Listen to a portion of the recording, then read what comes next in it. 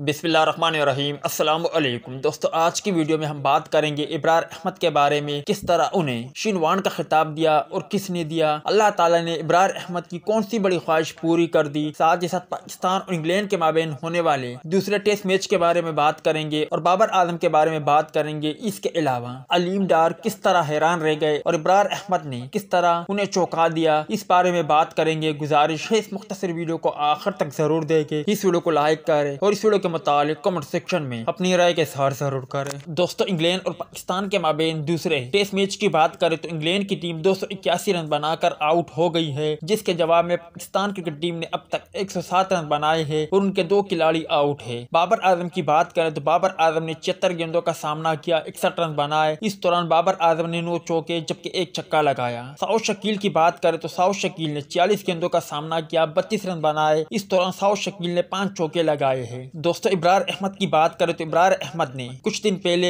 एक इंटरव्यू में कहा था कि मेरी दो फेवरेट विकेटें जूई रूट और बेन स्टोक है। और आज अपने इंटरव्यू में कहा, मेरी जो दो फेवरेट विकेटें थी जूई रूट और बेन स्टोक, अल्हम्दुलिल्लाह, इन दोनों को अल्लाह ने मुझसे आउट करवा दिया। दोस्तों, पाकिस्तान और इंग्लैंड के दरमियान अलीम डार भी हैरान रह गए। दूसरे टेस्ट मैच में पाकिस्तानी एम्पायर अलीम डार के तीन फैसले गलत साबित हुए, जिसके बाद वो ट्विटर पर भी टॉप ट्रेंड बन गए। एम्पायर अलीम डार दुनिया भर में अपने सही फैसलों की वजह से जाने जाते हैं, उनके बारे में कहा जाता है कि अलीम डार के फैसले को चैलेंज करना इंतहाई मुश्किल है, लेकिन आज उससे कुछ मुख्तलिफ़ हुआ। इब्रार अहमद की तीन गेंदों पर, जब बॉलर और पाकिस्तानी टीम की जानब से आउट की अपील की गई तो अलीम डार ने नॉट आउट करार दिया। कप्तान बाबर आज़म ने रिव्यू लिया तो पता चला खिलाड़ी आउट था। ये एक बार नहीं, बल्कि इस मैच में तीन बार हुआ। ऐसे में अलीम डार ट्विटर पर भी टॉप ट्रेंड करने लगे और लोगों ने उन पर डेरो मीम बना डाले। दूसरी जानब ग्लिन मैक्सल की ये दो ट्वीट काफ़ी ज़्यादा तेज़ी से वायरल हो रहे हैं, जिसमें पहले ट्वीट में ग्लिन मैक्सल ने कहा कि इब्रार अहमद तकरीबन इंग्लैंड के 10 खिलाड़ी आउट करने वाले हैं। उसके बाद ग्लिन मैक्सवेल ने एक और ट्वीट किया, जिनमें उन्होंने कहा कि